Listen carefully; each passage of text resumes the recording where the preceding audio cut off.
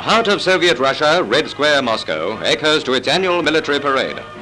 Although at the time the Germans were only 30 miles from the capital, the 24th anniversary of the Russian Revolution is commemorated as usual. While sections of the Red Army parade before Monsieur Stalin, the Soviet aircraft ring the city, keeping off attempts by the Luftwaffe to attack. A magnificent gesture of defiance to Hitler, even though the distant sound of gunfire was heard behind the tramp of marching feet and the rattle of accoutrements.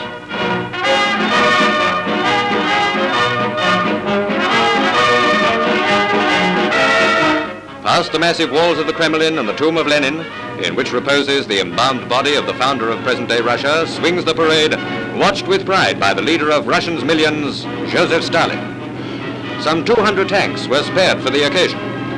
The people of the Union have reason to be proud of their fighting men.